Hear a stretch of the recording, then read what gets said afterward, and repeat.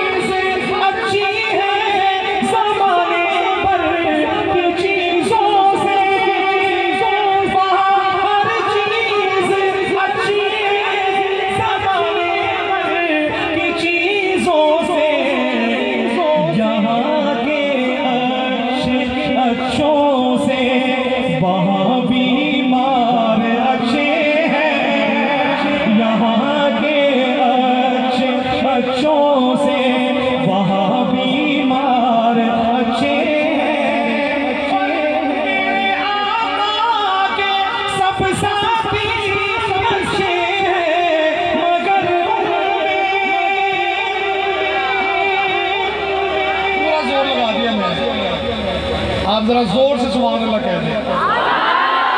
دیکھتے ہیں میرا میری آواز زیادہ ہے، یہ اتنے بڑے مجمع کی آواز زیادہ ہے۔ یہ جب شعر پورا ہوگا تو پھر پتہ چلے گا۔ صحابہ کے دیوانے بیٹھے ہیں۔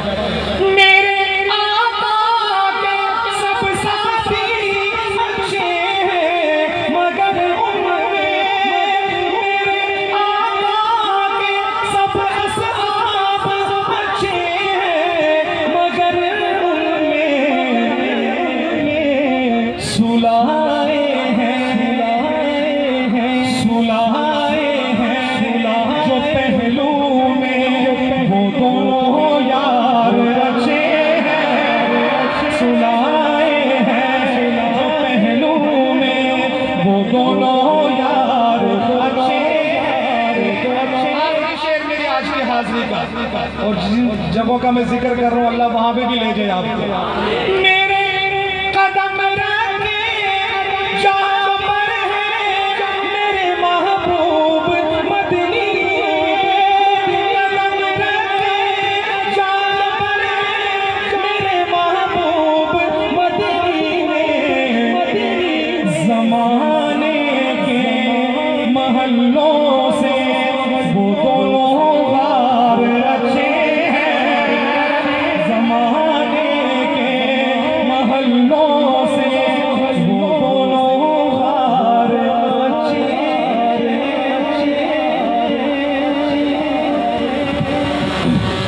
ماشاءاللہ یہ تھے جناب حضرت مولانا محمد عثمان قصوری صاحب، جنہوں نے نعت مقبول صلی اللہ علیہ وسلم پیش کی، مدینے پر کلام پڑھا اور اسی پر۔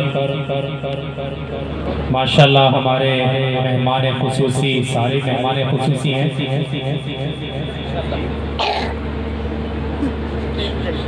ہمارے مہمان ماشاءاللہ حافظ عبدالباسط حسانی صاحب تشریف لا چکے ہیں، آپ چائنا۔ اب انشاءاللہ آپ ان کا کلام سنیں گے۔ اور محمد عثمان قصوری صاحب نے جہاں سے کلام چھوڑا مدینے پر، وہیں سے میں آپ کو